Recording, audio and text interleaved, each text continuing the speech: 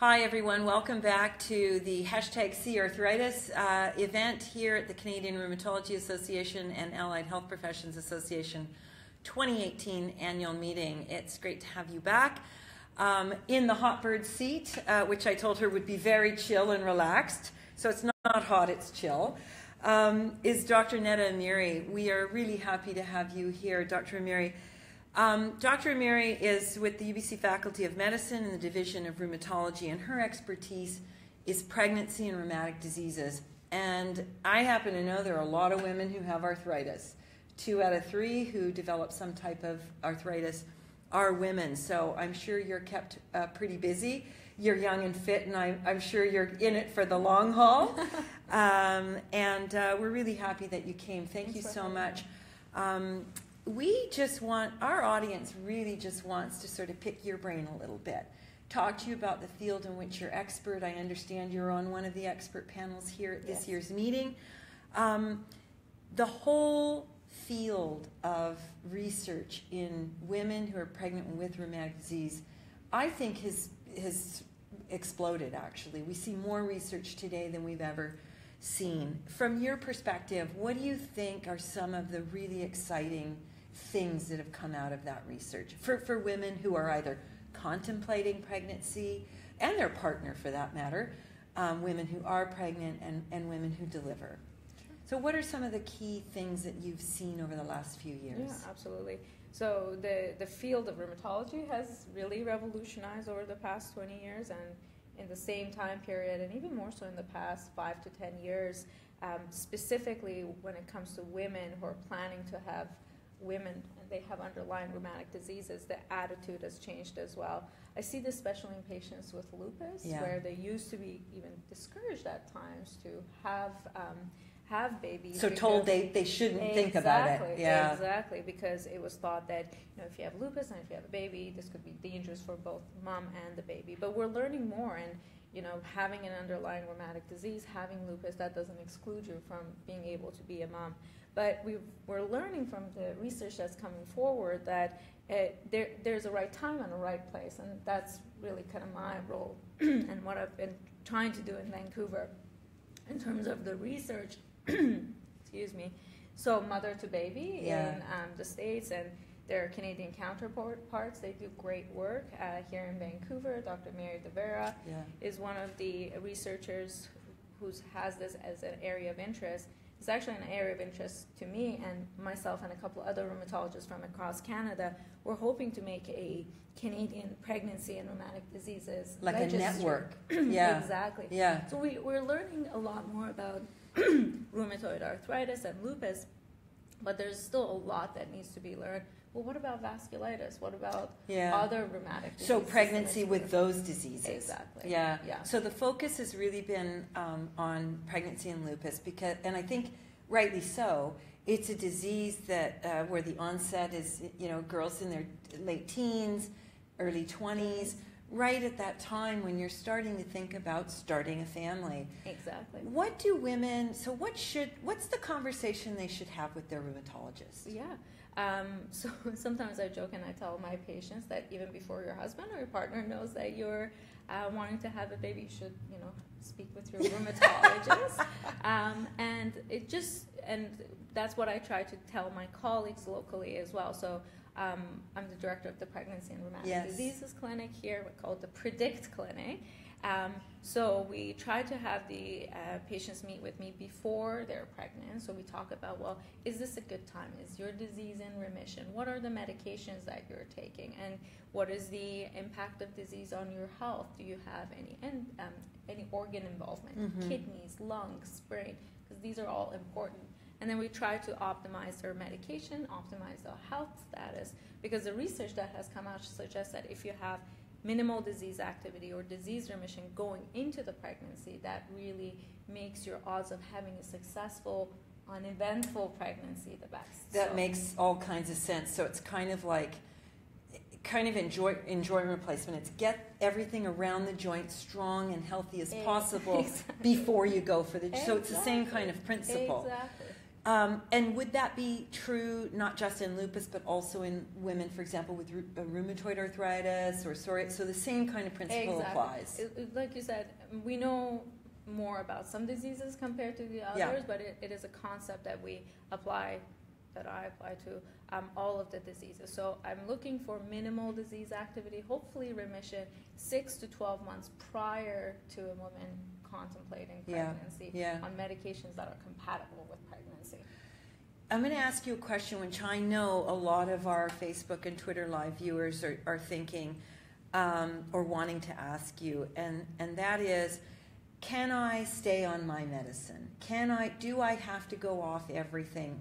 What have we learned about medication use in pregnancy? Because I think most of us, even those of us who aren't pregnant, um, and you know, clearly past the age of, of being able to conceive a child, but we worry about the medication piece, not just for us, but for our, our baby in utero. yeah, so how, right.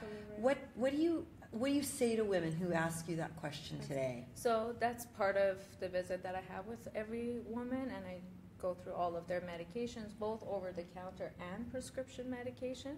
What I've observed is moms are so selfless, right? Mm. They they want to do the best for their child even before that child is born, and they want to give that child the best chance of being healthy. And there's, like you said, that um, factor of fear and Yeah. what is this medication going to do? So there are medications that we know that are safe, and I go through that data with my patients. Medications that we're not 100% sure about, and there are medications that are clearly contraindicated. For example, methotrexate. Sure. You know, there's like there's no negotiation Yeah. there. But um, for for medications that we know that are safe, for example, hydroxychloroquine in lupus especially, absolutely safe in pregnancy and breastfeeding. It's important for patients to also continue taking medications that is keeping their disease in control. Right. Because my, my fear is that a patient who's not sure about the effect of the medication on their child goes off the medication, then they have a flare during that pregnancy, then they have to go on high dose prednisone, and that's much worse. So the risk, so in other words, the risk of flare or the actual flare in pregnancy, the, the risk it poses is actually greater than the risk of someone maintaining a medication and keeping all of that down low, right? Exactly. Yeah. And um, exactly. And Yeah. then patients need to remember that everyone, um, like, doesn't matter if they're healthy or they have rheumatoid arthritis, they Yeah. start with a background risk population, right? So when it comes to miscarriage, that's around 10 to 15 percent, depending on what study you look, and you're looking at malformations. Yeah, So that's around 3 to 5 percent. yeah, So when they look at studies and medication use in studies, they look to see if we see a pattern of deformities associated with Yeah. that medication, yeah, and what so um, a thumb missing. yeah, and um, if, if it's persistent, if you always see that with uh, with with the medication, and so I go through all that data, but it's important Yeah. to know that if the medication is compatible with pregnancy and breastfeeding, and if it's keeping your disease in control, it's important to maintain it because having a flare during pregnancy, that's yeah. Not like good. To avoid that. Not good. When you think about your own area of research, and you look and if you close your eyes uh, and you dream the big dream, Mhm. for for pregnancy and rheumatic diseases in particular, what's the next advance? What's the next best sort of beautiful sunset that people can see, or you know, beautiful moment that you that you envision for people who are who are living with these diseases and and um, and going through that whole pregnancy process, pre, during, and, and post. Um, it's hard to talk about that without talking about rheumatology as a field, Right. right? Because as is the theme of this year's uh, precision precision medicine, personalized medicine. So the vision of rheumatology is to have personalized medicine. So instead of having to go through trial and error with Right. medication with each patient and try and find out whether they'll respond to that medication or not, knowing exactly based on your genetics what will work for you and try to minimize side effects. And then the vision beyond that is to be able to achieve disease remission with med- minimal medication or even no medication. So then, if we can translate that into the pregnancy Absolutely, that's the vision. Yeah. What I'm hoping to achieve as part of my career in the next 5, 10, 20 years is, as we talked about, establish that network of, look, let's look at all patients with rheumatic diseases who are pregnant, going pregnancy, and see how their disease affects their pregnancy, how does pregnancy affect their disease, and what sort of outcomes can we tell about these tell patients that they can expect going into pregnancy and what sort of experience they can expect. So that's what underlies this the need to create this registry. Exactly. So I'm turning to our audience. If you're someone, you're a woman, uh, you want to be pregnant, you want are, are pregnant, you've gone through pregnancy, would you sign up for a registry? That's a really good question that we can ask our audience. Just send us your yes or no, um, and even explain why um, behind each of those uh, two answers. I mean, we're hoping the answer is yes. Maybe explain in our last sort of minute here, um, Dr. Amiri, what is a registry? What does that entail for our community member? So, registries um, in Canada and, and um, especially in rheumatic disease have been quite important. So, um, I can't talk about all registries because yeah. they're all slightly different. Yeah. But so for the pregnancy registry that we're working on is called CAPRICE, Canadian Pregnancy and Rheumatic Diseases Consortium. And basically, um, I do visits with my patient at every visit, and that at every visit that they come first trimester, second trimester, third trimester, as part of the routine medical care that we're doing, examining their joints, listening to their heart and lungs, we also ask them questions that will go to our registry. So so um, those those are data points, let's exactly. say, and those get put into a big file folder somewhere. Exactly. Okay. So then, because um, it's hard to make predictions based on one or two patients, but then if you have hundred patients, five hundred patients, thousand patients, then you can start to see patterns. Well, oh look at that! All patients yeah. with rheumatoid arthritis who got pregnant, look at that! Their disease activity gets better. So some of the registries these they um, expect patients to um, fill out questionnaires. So every time you kind of go in as part of your visit, you also fill out, well, how are you feeling? So the health assessment questionnaires right. patients may be familiar with. or with. the HAQ. Exactly, yeah. the HAQ. um, so we, you might have to like fill it. Sometimes, you know, it's a little bit extra work yeah. as part of patients, but it's quite empowering also that you're contributing to this body of knowledge and based on your experience, you're, you're friends and colleagues or you know your children down the line might benefit from that. Yeah, so I think exciting. this is a really important point actually that that underscores the importance of it, it being involved in research.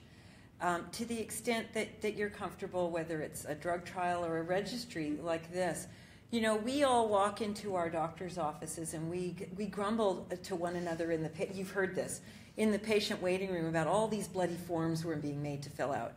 I really hope for our audience this explains the importance of those forms. Yes, it's boring. Yes, it's monotonous.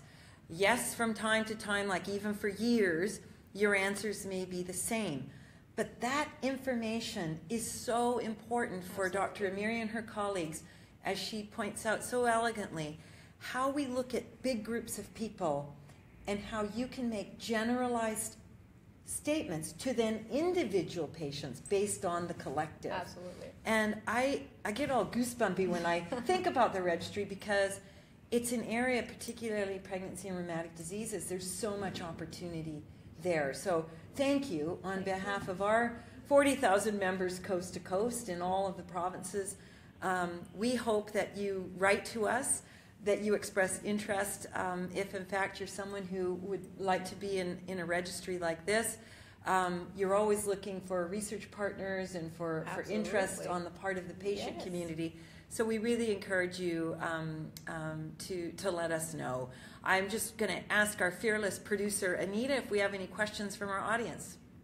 Do you have, so the question is, do you have any lifestyle tips for anyone who's pregnant and living with arthritis? Um, so keep healthy, eat well. Um, I don't think there's anything beyond any pregnant woman that would do. Um, if you're already exercising, just because you're pregnant doesn't mean you have to stop exercising. We actually encourage you to continue to do so. Um, everybody knows to lay off the alcohol and the smoking, yeah. um, but exercise is important. Regardless of whether you're pregnant or not. And just because you're pregnant, don't stop exercising.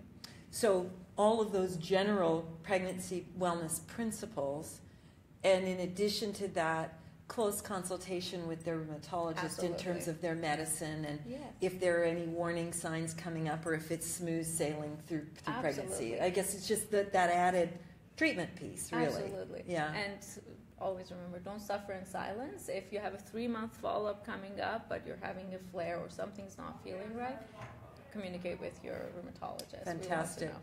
You've heard it from the expert here uh, at CRArthritis, Arthritis Broadcast Network's event from the Canadian Rheumatology Association and Allied Health Professions Association annual meeting. Thank you so much Thank for joining us. me. See, it wasn't so scary, No, hey?